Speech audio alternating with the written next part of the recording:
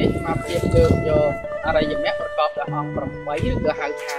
មគ្គប្រកបដោយអង្គ8ប្រការដកប្រសើរញាតិញោមក៏បីជ្រាបហើយថាមជ្ឈិមាបដិបទានេះជាផ្លូវកណ្ដាល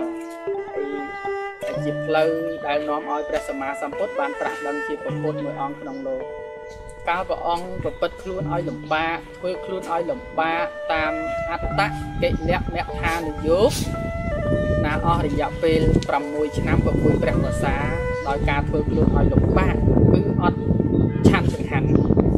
អត់សោយអាហារណាតាំងពីច្រើនរហូតទៅព្រះអង្គអត់បន្តិចម្ដងបន្តិចម្ដងបន្តិចម្ដងរហូតតតែព្រះអង្គនៅសោយមួយថ្ងៃប៉ុនផ្លែពុត្រានៅសោយសោយសោយសោយសោយតាំងពីច្រើនកាត់បន្តិចម្ដងបន្តិចម្ដងបន្តិចម្ដងបន្តិចម្ដងរហូតទៅរ ហូតដល់ព្រះអង្គនៅសោយប៉ុនមួយថ្ងៃប៉ុនផ្លែពុត្រានឹងលែងសោយចឹងហើយណាដល់ពេលព្រះអង្គធ្វើអញ្ចឹងធ្វើឲ្យខ្លួនរាងកាយរបស់ព្រះអង្គស្គមស្គាំងណាព្រីងរៃធ្វើកិច្ចការងារអីក៏អត់កើតផងអត់មានអាហារអត់មានកម្លាំងកំហែងក្នុងការប្រព្រឹត្តប្រតិបត្តិធម៌តទៅបានណាទេវបុត្រនេះញាតិញោមទេវបុត្រហ្នឹងក៏ណាចុះមកចុះមកហ្នឹង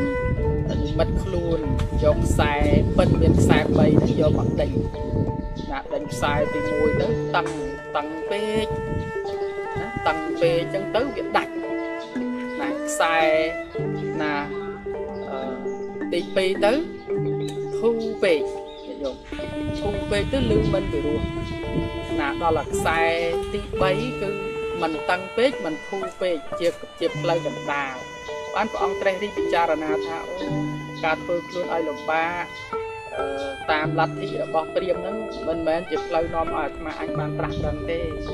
ដូច្នេះគួរតែបោះបង់ចោលហើយមកប្រតិបត្តិតាមណាមជ្ឈិមាបដិបទាគឺមគ្គប្រកបដោយអង្គ8ប្រការដល់ប្រសើរមិនមែនព្រះអង្គទ្រង់មិនបានជ្រាបថាការធ្វើទុក្ករកិរិយានឹងជាផ្លូវមិនល្អទេ តែព្រះអង្គលោកយល់ថាសម័យនោះ គឺមនុស្សភាគច្រើន មានផ្នត់គំនិតជឿស្លងទៅលើព្រហ្មញ្ញសាសនាហើយការយល់ឃើញហ្នឹងដើម្បីព្រះអង្គកាច់បំបាក់នៅទិដ្ឋិការយល់ខុសរបស់មនុស្សសម័យនោះថាព្រះអង្គដើរហើយផ្លូវហ្នឹងមិនមែនជាផ្លូវនាំឲ្យបានត្រាស់ដឹងទេមិនជាត្រឹមត្រូវទេផ្លូវហ្នឹងព្រះអង្គដើរខុសហើយអ្នកទាំងឡាយកុំដើរតាមអីអញ្ចឹងមកដើរតាមផ្លូវរបស់ព្រះអង្គវិញតែជាជាផ្លូវដ៏ប្រសើរគឺថាទី1ការឃើញត្រូវទី2ការត្រេះរិះត្រូវទី3វាចាត្រូវទី4ការងារត្រូវទី5ការចិញ្ចឹមជីវិតត្រូវទី6ការព្យាយាមត្រូវទី7ការរលឹកត្រូវទី8ការតាំងចិត្តមមត្រឹមត្រូវ នឹងមានសម្ដែងក្នុងបៃដកខ្មែរយើងលេខ53ទំព័រ117សូមអរព្រគុណនិងសូមអរគុណ